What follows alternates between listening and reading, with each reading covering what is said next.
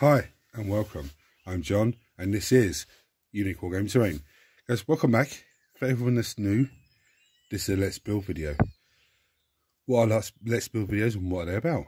Well, basically I take a model kit and I show you how to put it together. If there's any areas of concern on the sprue, I'll let you guys know. If there's any bits, when I say areas of concern, I mean like things that are like chain or wires or stuff that you need to be very careful with when you're clipping and when you're cleaning. If there's anything on the sprue that's numbered wrong, I'll let you guys know. Um, if you suffer dyslexia or just struggle with instructions in general, again, this is a visual way to help you guys out. Sometimes models don't come with instructions. So again, this is, you know, to help you guys. If you're thinking of a new army or you have an army and you're thinking about specific models in that army, and I do let's build on them is to help you guys so you can see is it easy to put together?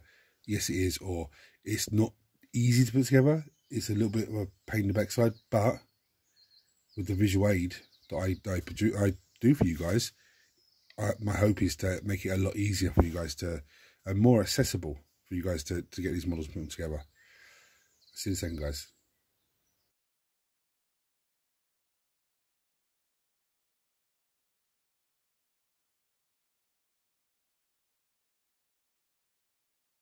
So today, I'm going to build this guy. Space Marines Captain with Master Crafted Heavy Bolt Rifle. Yeah, it's a fantastic min uh, miniature. Absolutely fantastic. That rifle is just... So anyway, let's have a look at his stat lines as usual. Movement of 5. Um, twos to hit in combat. Twos to hit from shooting, as you would expect. Strength 4 toughness 5. He's actually tougher than normal Space Marines. Good. 7 wounds. That's insane. Uh, 5 attacks, leadership 9, and 3 plus armor save. he hasn't got his, hasn't got the uh, he hasn't got the uh, information. Sorry. That's better. He hasn't got the information for the heavy bolt rifle, but that'll be in the uh, Codex Astartes. So as always, guys, tools needed. Mold line scraper. Now, some people can use a hobby knife or some other sort of like blade, like a surgical blade. But just be careful using the blade because they are sharp. If there's anyone in the house, let them know you're using a blade so nobody scares you by accident and you end up cutting yourself. Clippers. Most useful part for our tool. Now, I do have this lovely material. This is sanding sponge, or this is sanding block, I think this is called. But this is this is sanding sponge. It's essentially the same, but this one comes in a big block, as you can see. I've cut. This is comes in a much thinner block. And basically, it's, it's sponge with sandpaper inside. It's handy for getting into little bits that you can't get into, and wires, chains, all that sort of stuff. Um, where you get this from, hardware shop. It should be with the sandpaper slash towards the painting section okay? Because I use this for cleaning like the lining paper off the side of the walls and you know various other different bits and pieces. It's a plastic kit so I do have plastic glue. I also have super glue to hand just in case. I don't think I'm going to need it with this one. Now it's a very simple kit. As always guys for everyone that's new we look at the kit and see what we can ascertain is what to make it easier for ourselves to break the kit up and everything else. So straight away, I can see his head. Okay, I can see his body, his front part of his body, backpack, leg, arm, arm. Very straightforward. I can see his hand there. So this arm would connect into the hand there. Very straightforward. So the first thing we do, we need parts one and two this is number one and this is number two. So I'm going to snip those off clean those down and come back to show you how they go together. I said this model is a very straightforward model at the beginning. I, that was an understatement. This is a very simple model. Now first you're going to look at this and go how does this go? See the two little bits sticking out on the cloak? There's two little holes in there. So that glues in there that connects into there. Okay so I'm going to glue that into place and then come back for the next piece There it is, nice and easy. The next piece needed, as you would have guessed, is number three, which is the front part, of body part. I'm going to snip it, clean it, show you how it goes on. Right, and that's for where this one goes, it just goes over the top. Now this piece here,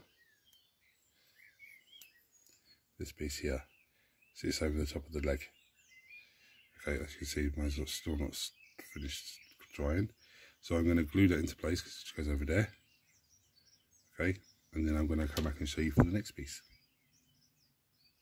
Right, what we need now is um, number five and number four. Okay, they're very self-explanatory where they go. One's the left arm, one's the right arm. Now, the um, right arm here, number five, you can see there's no hand on it because his hand is actually on the gun.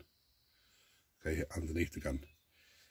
And the left arm, same, his hand's on the sword. Okay, so I'm going to snip those off, clean those down, and glue them on. The, the very self-explanatory how they go on. Just make sure that you put glue on both the bit that connects into the shoulder, yeah, and the part of the hat, the wrist.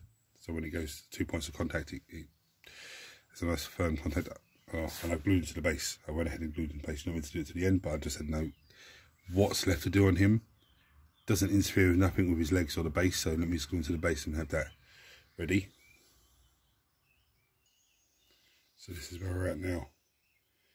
Now, there was a horrible join line along here. I did run some plastic glue into it. Um, it's actually stuck to the base properly, nice. I have to hold that for a couple of minutes. Anyway, um, the next piece is needed. Right. So, this little, his head, we all know where the head goes. It's very self-explanatory, but there is a little, you at the bottom, there, little square, there is a square hole in the where his head goes, so you, that's where it goes straight in. Now you can snip the square off, just glue him in a different sort of position if you want to. His backpack goes on his back. Just look at, just be careful with that, it looks absolutely amazing. The detail on that, it's fantastic. Um, it actually looks like arm he's wearing. This little lovely piece. I'll show you exactly where that goes. It pins in there on this cloak. Um, so I'm going to snip those off, clean those down, glue those on. Um, backpack, self-explanatory.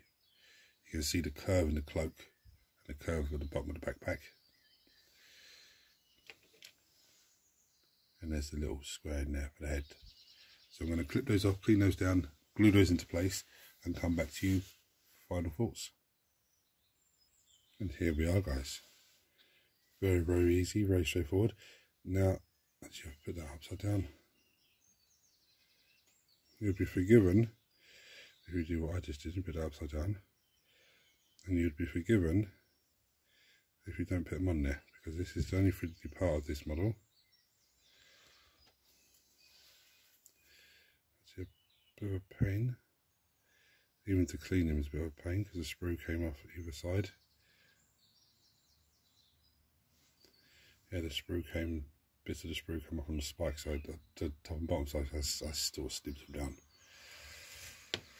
It's not going to be, it's going to be noticeable, but it's not going to be that noticeable.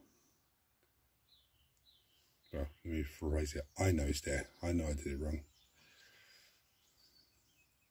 Absolutely fantastic. Very, very easy.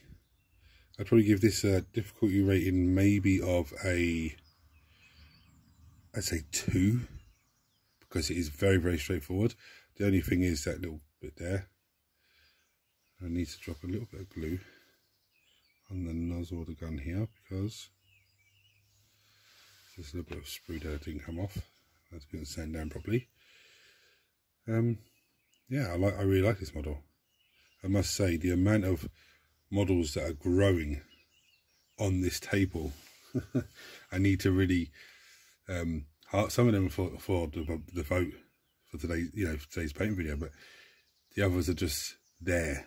I need to locate them elsewhere and then try and keep this space ready for things like this. When they're done they can be put down until they're located somewhere else.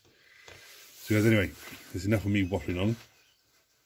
If you enjoyed this video it's helped you in any way please subscribe to the channel if you haven't already done so because it means a hell of a lot to me. It costs you guys absolutely nothing it just helps the channel in a massive massive way turn your notifications on so you don't miss any videos I produce um, today is Monday so it's Monday's painting video but don't, don't panic this this video is not replacing that Okay, Monday's painting video is on the way.